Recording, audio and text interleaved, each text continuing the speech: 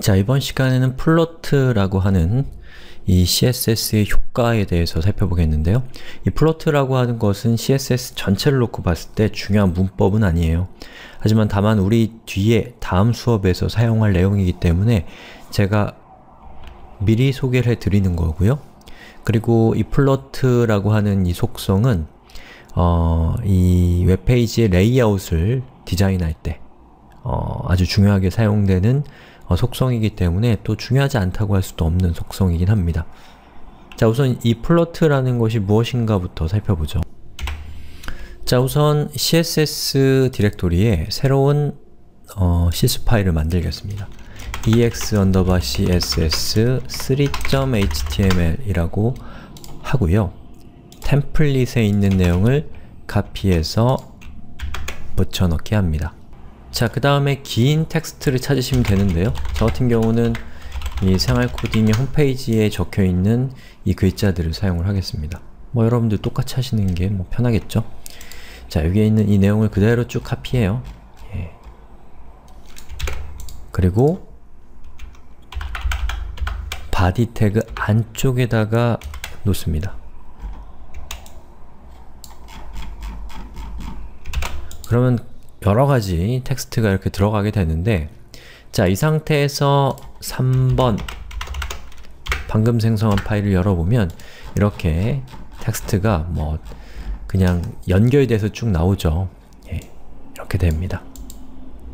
자, 이 상태에서 제가 태그 하나를 또 소개를 시켜드릴 건데요. 바로 화면에 이미지를 표현하는 태그입니다. 사실 굉장히 중요한 태그지만 이 HTML의 본질적인 측면은 아니었기 때문에 지금까지 소개를 안 드렸는데 필요해서 소개를 드릴게요.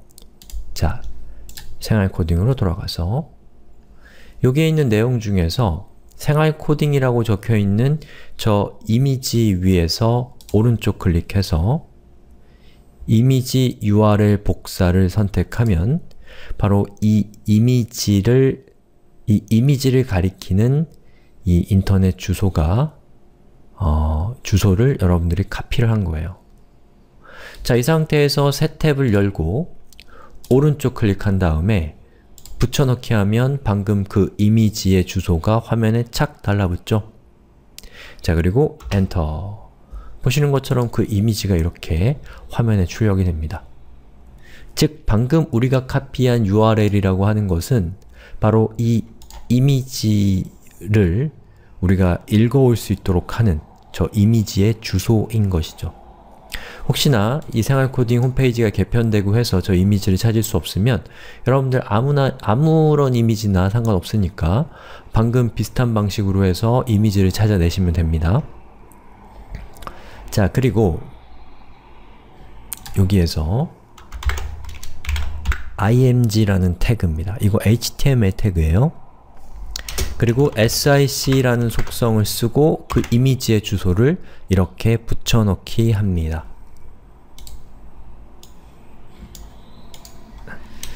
그 다음에 띄우고 슬래시 괄호 닫고 자, 이 슬래시가 뒤에 붙어 있는 이유는 뭐 지금은 모르셔도 되니까 그냥 똑같이 하시면 됩니다.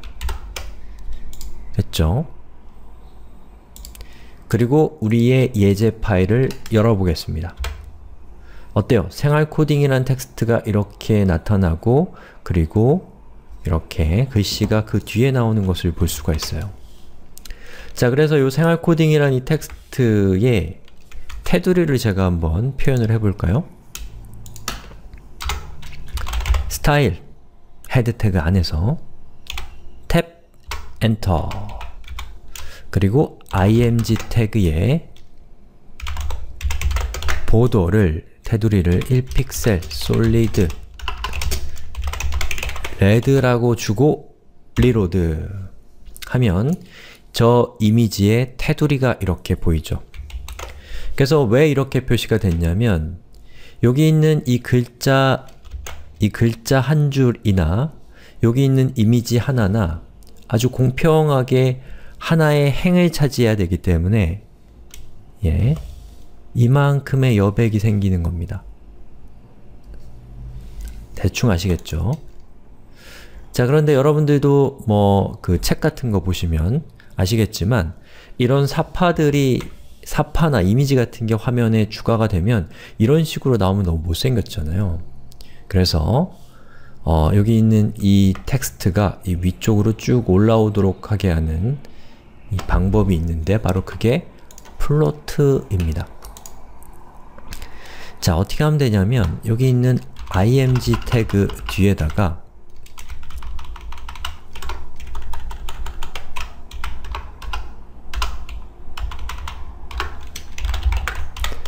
float라고 하는 거예요. 그리고 left라고 한 다음에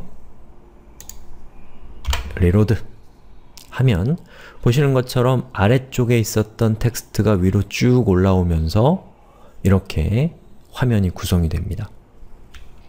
그리고 여기 있는 이 float의 left를 right로 바꿔주면 자, 이렇게 어, 왼쪽에 있었던 이미지가 오른쪽으로 착 달라붙게 돼요.